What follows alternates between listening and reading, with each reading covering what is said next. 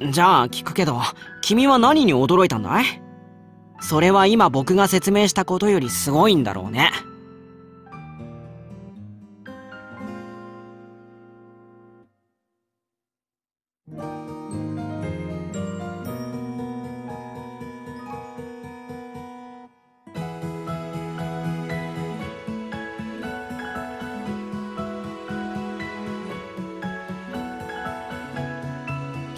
経験の差だろうねユミ先生はバーストの仕事もしてるんだからああいった状況に対応するスペシャリストなわけで。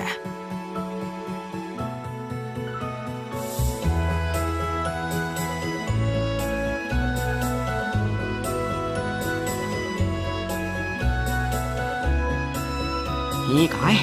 僕もそうだけど君もまだ子供なんだ。そんなに悲観するほどじゃない。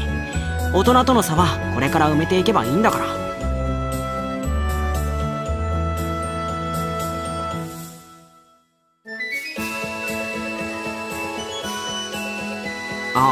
僕らの2個上だっけ？まあアカデミーを飛び級で卒業した天才と比較するのは無謀だよ。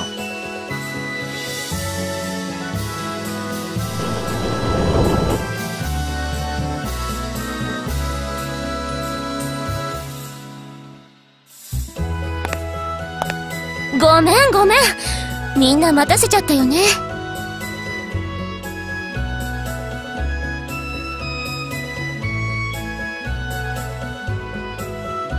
大丈夫よ。病院に運ばれて治療を受けてるわ。怪我自体は大したことないからすぐに退院できるそうよ。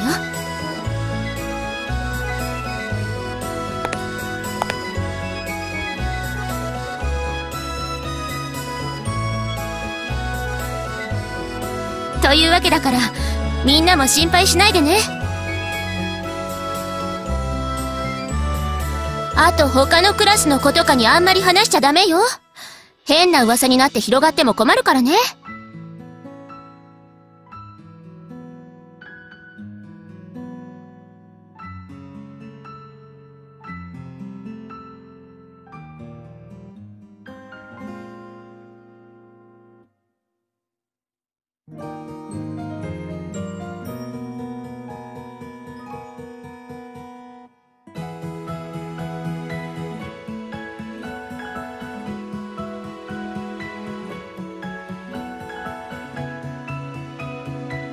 詳細はまだ調査中よ。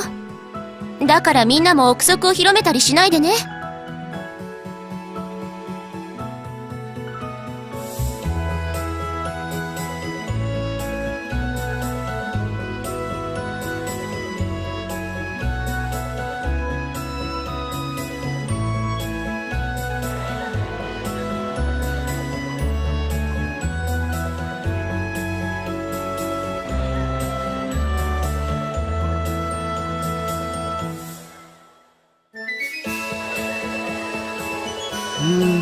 や今日はなんだかそういう気分じゃないんだ。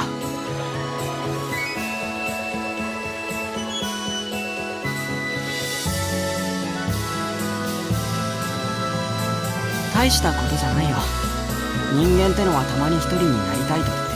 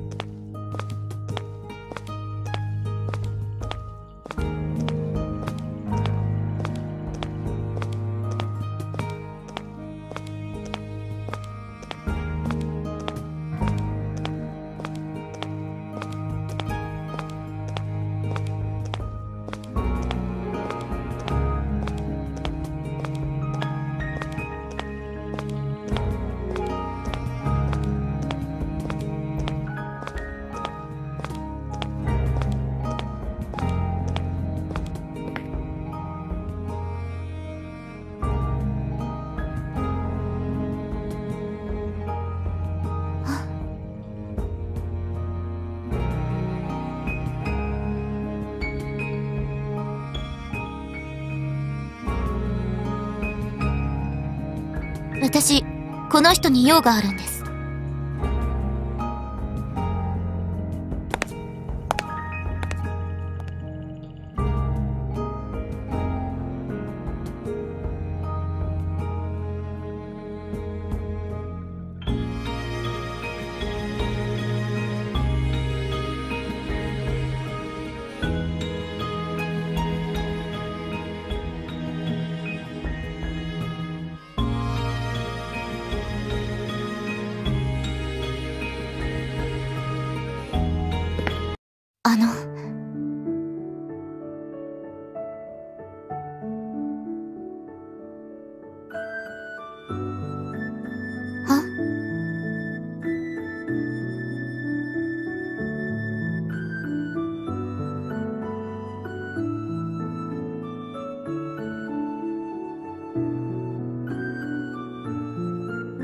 あなたの名前、教えてもらえませんか？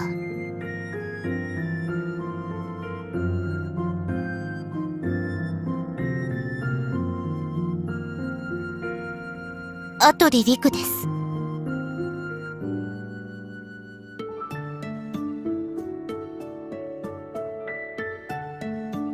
あなたが想像しているアトリで間違いありません。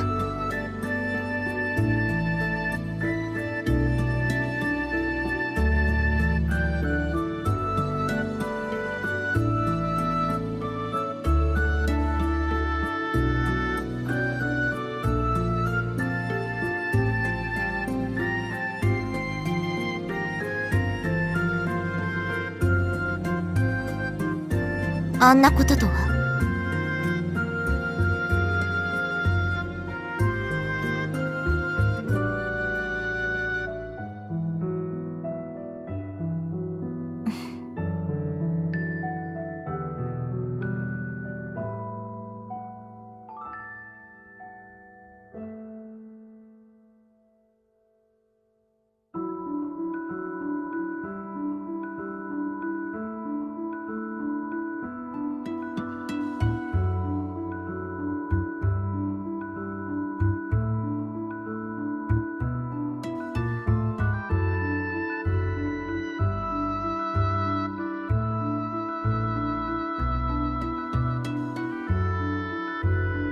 ここで待ってれば、あなたを見つけられると思ったんです。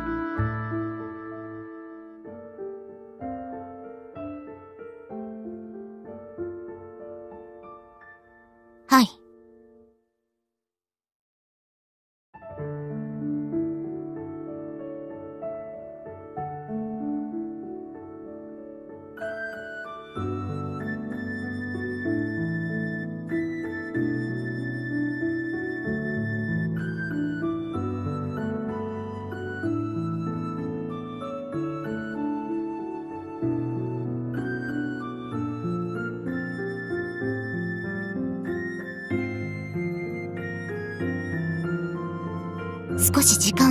きたいのですが。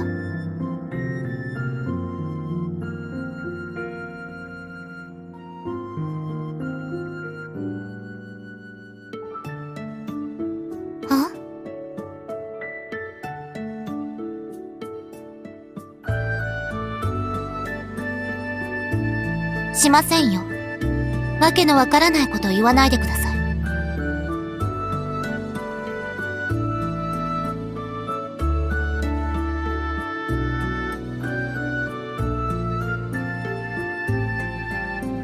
て私があなたを誘拐すると思ったんですか？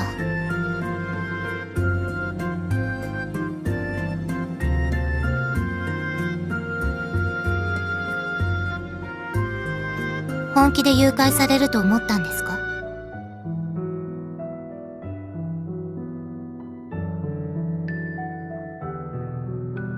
だとしたら、私の言葉を信用するのもおかしいでしょう。仮に私が誘拐を企てていたとしても、これからあなたを誘拐しますとは言いませんよ。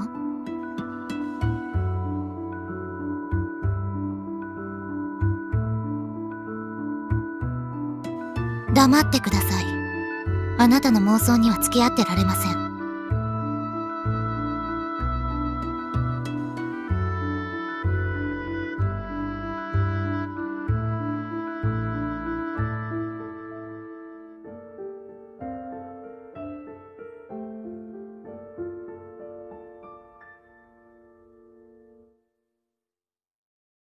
あなたに興味があるんです。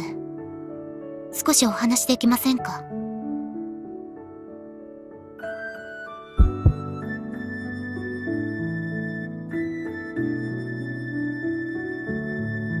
嫌なら無理にとは言いませんが。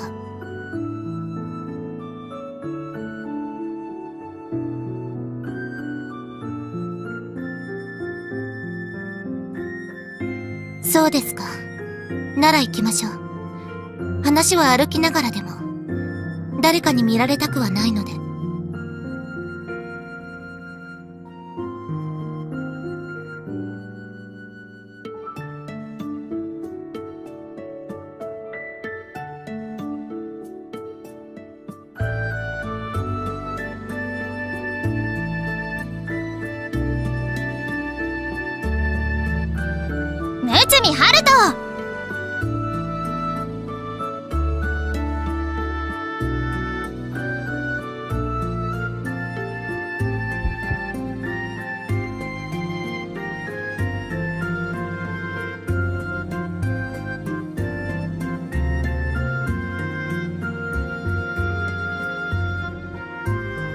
探したわ。あなたの教室にいてもいないんだもの。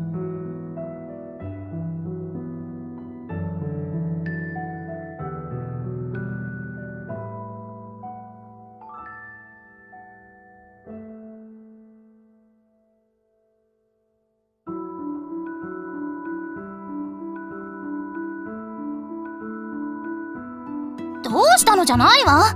私の日記を直してくれるって約束した。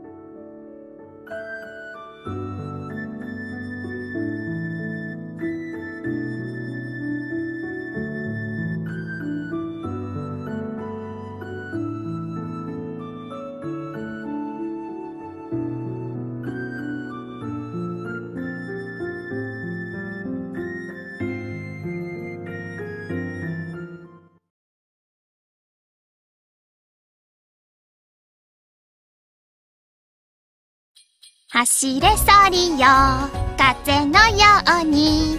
雪の中を軽く速く。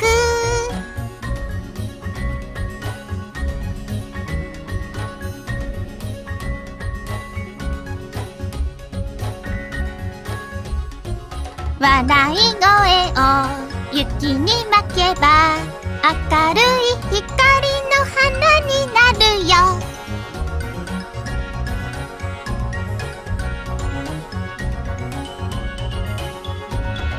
みません。少し黙ってもらえませんか？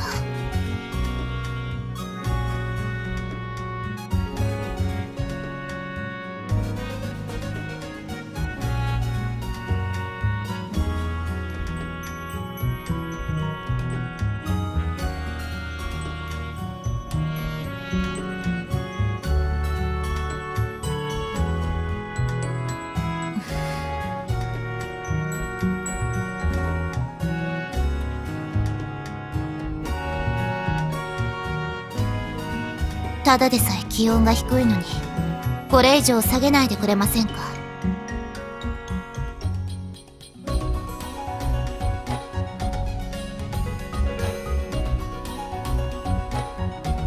冬にあの歌を聴いたら歌わないといけないの。これは決まり事なの。ジングルベルジングルベル鈴が鳴る。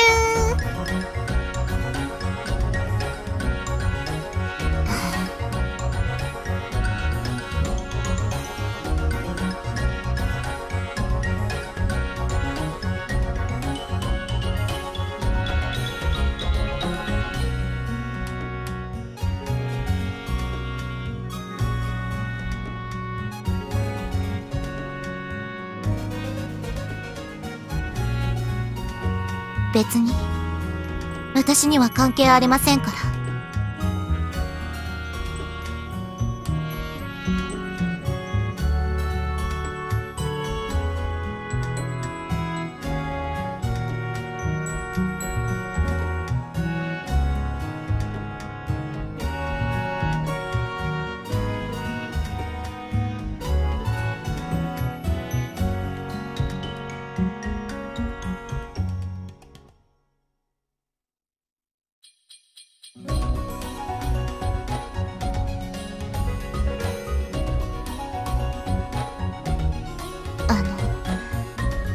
一ついいですか？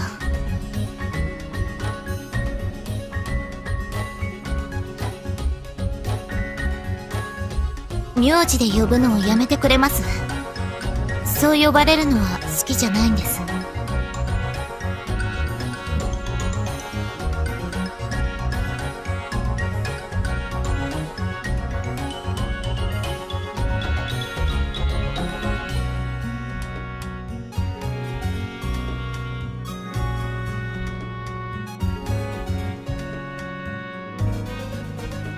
構いませんよ。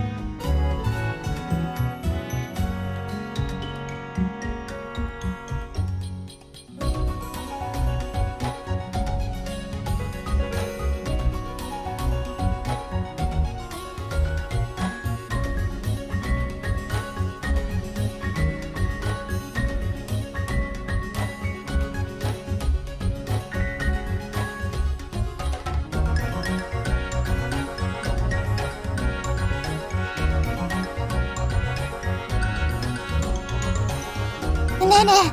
あとどのくらい？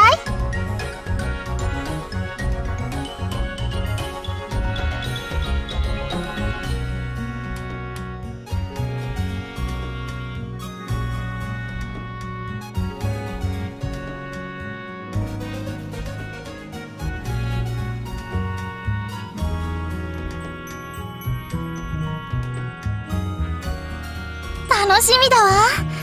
ねえあなたはよくそのお店に行くの？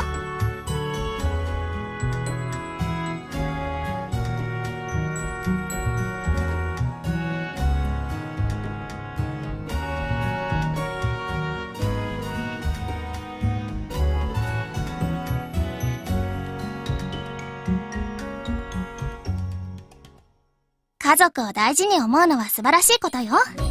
大切にするべきだわ。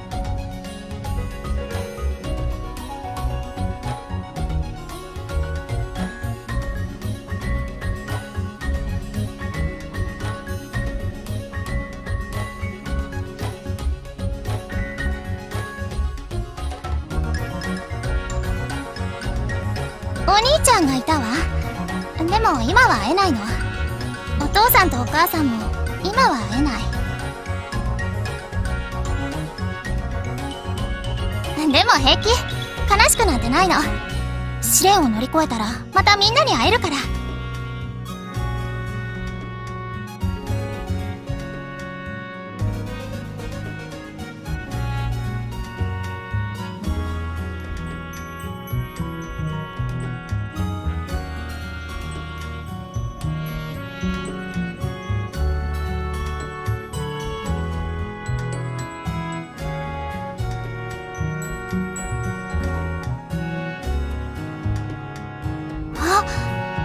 もしかしてあそこ？